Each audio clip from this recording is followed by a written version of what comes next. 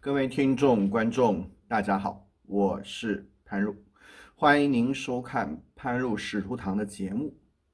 今天是二零二三年的一月十六日，以下是今日的短视频。不过呢，我先把昨天的答案报一下啊。哈尔滨的气候类型是温带季风，基辅的气候类型是温带大陆性气候，哥本哈根是温带海洋性。气候，迈阿密是亚热带季风性湿润气候，悉尼也是亚热带季风性湿润气候，这个是比较难的。开普敦是地中海气候，这也非常难。亚历山大在开尼罗河开那个开罗以北，尼罗河的出海口也是地中海气候。基多这有点难，是高山气候而不是热带雨林，因为它的海拔接近三千米。雅加达是印尼的首都。热带雨林气候，雅典是希腊的首都，在伯罗奔尼撒半岛地中海气候。台台北是亚热带季风气候，河内是热带季风气候。好，你答对了吗？OK，下面呢，我来说今天的新闻啊。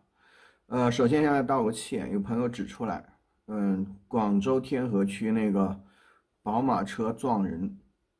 认定是交通事故，不是广州警方，而是北京的媒体，啊，所以我这个新闻是有误的。所以呢，我以后尽量慎重去听道听途说的这个呃新闻。我通常使用四大媒体的新闻，啊，我今天开始用四大媒体，因为我实在怕出问题，啊，因为假道小道消息太多，我也没时间去。派记者去当地去调查，我也没有记者团队，我只好，因为我主要的是评论，而不是去编故事。好，啊，我们知道前几天郑州的环卫工人拖欠工资，呃，承包人携款逃跑，那么拖了大半年的工资，那些年纪比较大的环卫工人每天干那么长时间，因为环卫工人很辛苦，你知道他一个月是多少钱？好好猜猜看。六百五，六百五呢？我算了一下，啊，一年也就七千出头，而这一年的工资刚好买一个七千块钱的骨灰盒。这个骨灰盒目前七千块钱已经是最便宜的了，我有点诧异啊！骨灰盒就是几块木板，要七千块钱一个，殡仪馆连这个钱都敢收，所以很多的。家属采用了不买骨头，用塑料袋、用布包把亲属的骨灰包走。可以说，这个国真的是道德沦丧，而且是没有任何的怜悯。说实话，我说中国社会的全面失败，我想现在应该没有人反对。好，我们下面来看几大媒体。呃，首先是自由亚洲报道，中国新冠病毒疫情肆虐。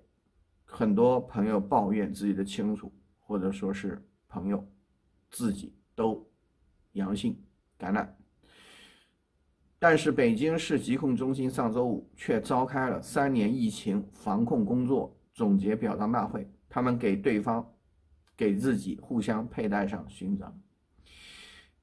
北京市疾控中心党委书记黄春做了三年工作报告，他在报告中声称，抗疫三年。疾控中心以前所未有的勇气和魄力，前所未有的措施和方法，前所未有的投入与保障，依法规范、科学精准开展防控工作，为全市疫情防控整体性胜利作出贡献，为首都疫情防控和社会经济发展做出了突出贡献。呃。其实我觉得呢，这个把喜事说错了，把上市办成喜事，呃，是机构和机国的优良传统。风控了三年，这是一个非常错误的一个措施。风控和后面的突然开放本来就是自相矛盾的，忽视了群体免疫的规律，是一个非常失败的一个措施。他们居然开表彰大会，佩戴勋章，这是在人家的。白骨堆上跳舞，好，自由亚洲报道，台湾呃台湾呃外长这个叫吴钊燮，对加拿大媒体表示，中国正在吸取乌克兰俄罗斯攻打乌克兰的教训，为未来入侵台湾做准备。但台湾无所畏惧，确实不用畏惧，因为岸田文雄首相帮台湾大忙了，达成机器反共同盟。所以加拿大呢，呃，将站队。加拿大国防部将派出更多的护卫舰在台海地区巡防，扩大在印太地区的影响力。还有有人朋友不知道加拿大这个国家，它的军队怎么样战斗力？我告诉你，加拿大军队非常厉害。二战的时候，加拿大军队解放了荷兰，加拿大第一集团军应该说是战功赫赫，相当厉害，可以跟曼斯坦因的装甲师、装甲集团军对抗。啊，加拿大的战斗力是很强的，还有加拿大的狙击兵种也是非常厉害的，开挂的，前世界前十大狙击记录大部分都加拿大人。自由亚洲报道，台湾执政党民进党在去年的九合一选举中挫败啊，今年的这个市长选举台北市又输给了这个国民党。讲完，小小小讲，是吧？蔡英文呢，请辞了。党主席现在党主席空缺，今天的选举结果出来了。台湾副总统赖清德十五日当选新任党魁，他同时被视为民进党下任总统参选人。因为这个台湾跟美国一样，总统只可以任两届。呃，赖清德把近期把蔡英文总统二零二零年喊出的抗中保台调整为和平保台，我觉得这个调整是没有意义的，因为。你想和平保台，你是不会得到和平的，一定要抗中，或者你更往前走一步，独立保台啊！我觉得趁这个机会，大陆在疫情焦头烂额，家家有病人，你现在趁这个机会独立，我真的觉得时机非常难啊！好，下面是法新社巴黎记者在这个今天的报道，这个是法广新闻网上的信息。联合国教科文组织、教育科学和文化组织今天表示，二零二二年全球记者和媒体工作者受害人数激增百分之五十，达到八十六人，也就是每四天就有一个人遭到伤害啊！我们呼吁呼吁这个这个记者要受到保护，因为新闻自由是非常重要的一个自由。嗯，呃，昨天我们都看到了，呃，乌克兰东部。城市第聂伯罗被俄罗斯的一枚导弹击中了一幢人口非常密集的居民楼，确定死亡的人数已经上升至四十人。当工人下班回家，妻子在做饭，孩子在做作业的时候，一枚导弹从天而降。这是俄乌战争爆发近一年以来乌克兰境内伤亡最重的一次针对平民的袭击，因为这不是军事目标，这个是战争罪。因此，目前担任欧洲联盟轮值主席国的瑞典首相十六日谴责俄罗斯犯下了战争罪行。我还是那句话，打到莫斯科，把普京活捉，送到海牙审判，然后上绞刑架，我会亲自去看。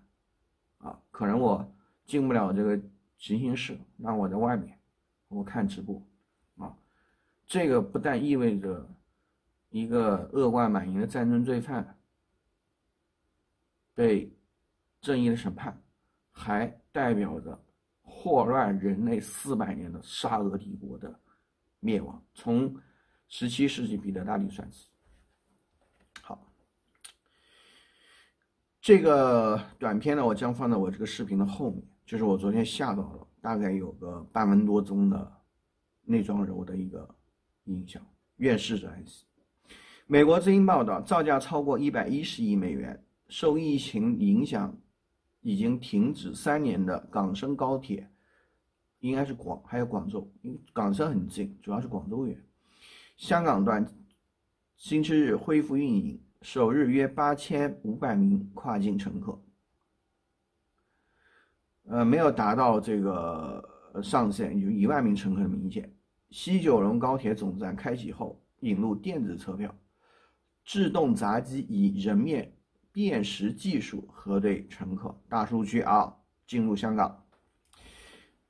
另有传媒报道，广东广州东站自助售票机购往香港的车票要输入普通话拼音“香香 X”，香港机缩写，而不是国际惯用的 hokong HK，不是，而是香 K，啊，这是一个倒退。美国《之音》报道，经济分析师在周二十七日 GDP 数据公布之前，中国 GDP 啊，预估在经历疫情和房地产危机双重危机后，二零二二年中国经济增长预计将是四十年以来最乏力的一年。这个应该是一个呃非常不好的信号，因为你要知道，四十年改革开放。它合法性就来自于所谓的经济高速增长。好，现在没有这个合法性。法新社采访的十位专家预测，这个世界第二大经济体的国内生产总值将同比增长百分之二点七，与中国二零二一年超过百分之八的增长率相比大幅下降。但是我觉得，二零二一年把所有人全关着，怎么可能有百分之八的增长率啊？可能现在已经没有办法编了，编不下去了啊，嗯，但是百分之二点七这个实在太低了，因为荷兰作为一个发达经济体，它正常的年份的 GDP 也有百分之三左右啊，呃，它的经济优秀就在这里，因为它通货膨胀很低，但是经济增长一成稳健。荷兰是经济优等生啊，产业结构也非常的好。美国知音报道。日本检察官十三日正式以杀人罪起诉刺杀前首相安倍的嫌疑犯山上彻也。山上彻也去年七月在一个竞选活动上用自制的手枪打死了正在演讲的安倍晋三前首相，之后立即被捕。后来他被送到了大阪的一个居家中心，接受了近六个月的精神。鉴定，检察官说，鉴定结果认为山下切也可以受审，他还被起诉违反枪支控制法，我觉得他因为日本是有死刑的，我觉得他这个应该是比较恶劣的一个事件，啊，就是前不久那个麻原彰晃，就是奥姆真理教的一个邪教头子，呃，被判处死刑，嗯，为了缩短他的影响，他死刑判决早就下来了，过了十几年才。执行这个实际上是一种策略，因为邪教组织比较麻烦，教主死了反而成为他们的图腾，所以要减轻他们的影响力。啊，德国之声报道，一项问卷调查显示，中国人对欧洲国家的好感大大超超过对美国的好感。研究者指出，在中美关系紧张的环境下，两国民众之间的反感也在升级。而中欧民众互相的感官，则相当不对称。其实呢，中国人对欧洲有好感，但是欧洲对中国人的好感一般。啊，我个人觉得就是，嗯，虽然我在荷兰，这是一个非常文明的社会，我基本上没有遭受过歧视，但是我个人感觉就是，你一定要通过你自己的言行举止得到别人的尊重。我个人觉得，要做到这一点并不容易，因为很多坏习惯都要改。好的，以上就是今天的每日短视频。呃，我之后呢又把那个，嗯，乌克兰遭蒂利博罗遭俄罗斯导弹袭击的垮塌的居民楼那段视频放在后面，同时我用这个十一号广州天河区的那个向死难者哀悼的封面做今天的图，啊，图做今天的封面。以上就是今天的短视频，谢谢大家，我们下明天见。好的。